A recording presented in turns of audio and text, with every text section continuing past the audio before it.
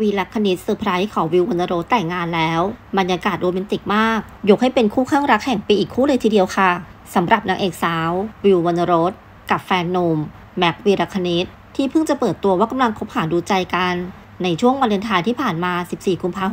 67ซึ่งหลังจากที่เปิดตัวแล้ว ทั้งวิวและแม็คก็ขยันสาดความหวานใส่กันแบบไม่ยั้ง เปรียบเสมือนเหมือนเป็นบ้านที่ให้ความอบอุ่นของกันและกันตลอดมา ล่าสุดแม็ควีรคณิศร์ก็ได้ประกาศข่าวดีผ่านทางอินสตาแกรมส่วนตัว เมื่อเจ้าตัวได้ตัดสินใจเซอร์ไพรส์วิววรรณรทด้วยการคุกเข่าขอแต่งงาน ท่ามกลางธรรมชาติสุดแสนจะโรแมนติก ที่ทะเลสาบโมเรนประเทศแคนาดา Hello my fiance I'm very proud to have you by my side and it will be forever promise hashtag รักที่รัก hashtag สวัสดีคุณคู่หมั้น hashtag worldwide cuber forever ขอแสดงความยินดีกับวิวแม็กว่าที่เจ้าบ่าวเจ้าสาวป้ายแดงคู่ต่อไปด้วยนะคะ ขอขอบคุณภาพวิวแม็กภาพแหล่งข้อมูลข่าว สนุกด้วยคอมค่ะ ฝากกดไลค์ กดแชร์ กด Subscribe กดกระดิ่งกันด้วยนะคะ